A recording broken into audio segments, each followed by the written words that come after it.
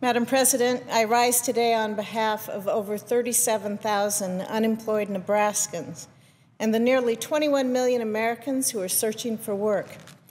The vast majority of these men and women are jobless through no fault of their own.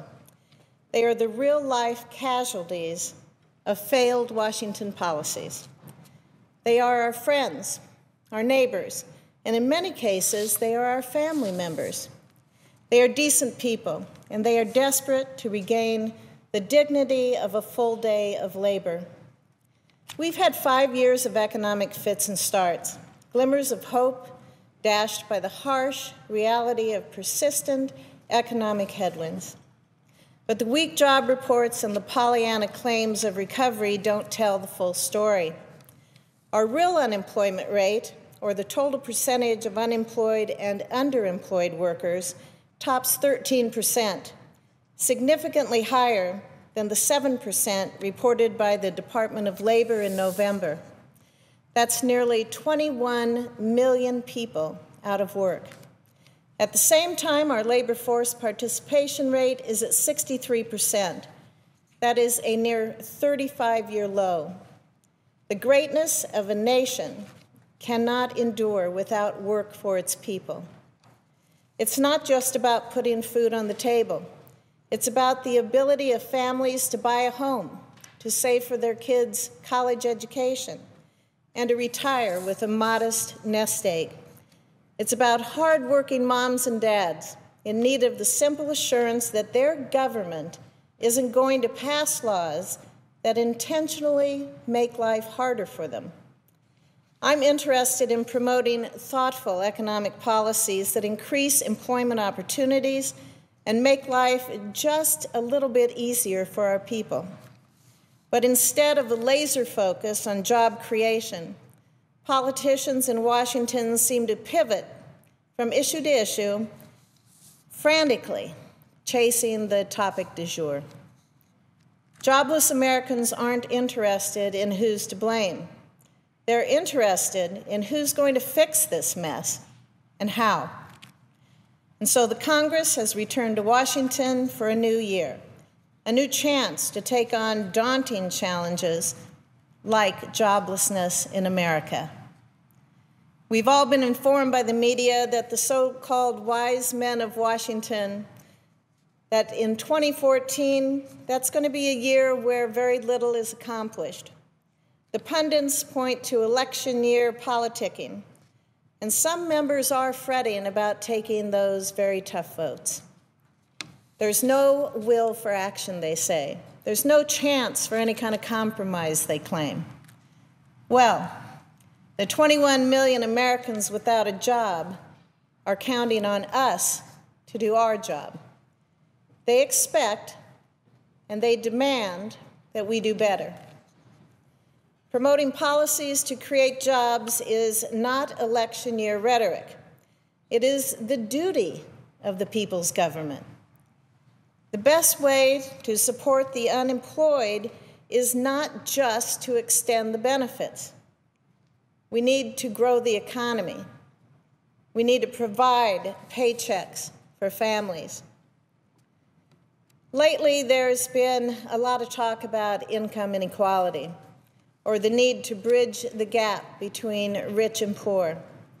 Some argue that deficit spending is the way to go, while others insist on increasing the minimum wage.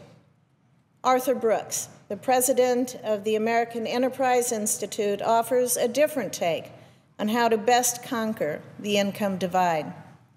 In a July 31, 2013 opinion piece published in the Wall Street Journal, Brooks notes Quote, Again and again, the president offers a higher minimum wage as a solution. Yet, as the overwhelming majority of economists have argued for decades, the minimum wage actually harms the poorest and most marginalized workers, those with the most tenuous grip on their jobs. In January, a study from the National Bureau of Economic Research surveyed the most recent studies and concluded the evidence still shows that minimum wages pose a trade off of higher wages for some against job losses for others. Brooks continues The story for, survive, for strivers and entrepreneurs is no better. Scott Shane of Case Western Reserve University has shown that business formation fell by 17.3% between 2007 and 2009. Launching a business is never a walk in the park, especially given the explosion of red tape at all levels of government. While it is still possible for the educated and comfortable Government bureaucracy can crush entrepreneurship entirely for those at the bottom of the income scale. As a pro poor rule of thumb, I suggest this. If you want to start a landscaping business, all you should need is a lawnmower, not an accountant and a lawyer to help you hack through all the red tape before setting up shop. Close quote. I think Brooks is right. Regulatory overreach is also holding back American business. Regulations can be helpful. They ensure the health and the safety of Americans. However, overregulation places unnecessary burdens on small business owners and it does stifle economic growth. A home builder in Nebraska once told me that he was fined $7,000 for leaning a ladder up against a wall. There is solid legislation out there to address this rampant red tape. Here's just a few examples. The regulatory responsibility for economy of 2013. This is a bill that was introduced by Senator Pat Roberts that I'm co sponsoring. It requires the executive branch to repeal duplicative and onerous rules currently hindering our nation's job creators. It also requires federal agencies to modify, to streamline, or to repeal significant regulatory actions that are unnecessary or overly burdensome. The legislation ensures that regulations put forth by the administration account for their economic impact impact on American businesses, it ensures stakeholder input, and promotes innovation. These simple, common sense policies are a good start towards relieving business owners of some of the unnecessary challenges they face in these already difficult economic times. I believe, and I know many Nebraskans believe, that executive agencies should be held accountable for the rules that they put in place, which directly affect our economic growth and our job creation. Another key way that we can spur economic growth is through broad based tax reform. Our current tax system is arcane, ridden with loopholes for special interests from the 80s. It's time that we simplify our tax code so that we can encourage pro growth behavior. Whenever I travel my state and I meet with Nebraska's business owners, both large and small, I hear the same message over and over.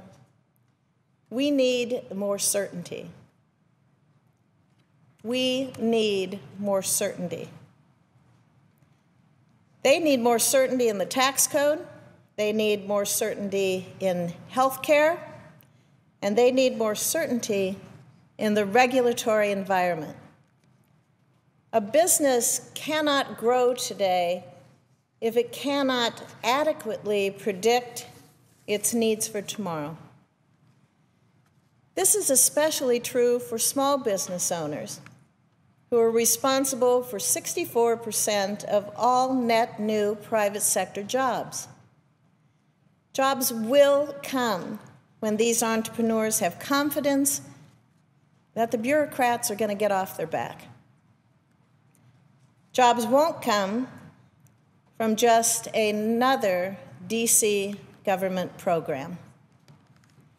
And so I believe that we must shift the focus of economic growth from government driven regulation to private sector innovation. The great government controlled experiment has failed us again. And so it's time for a change, of course. There's no shortage of good ideas out there.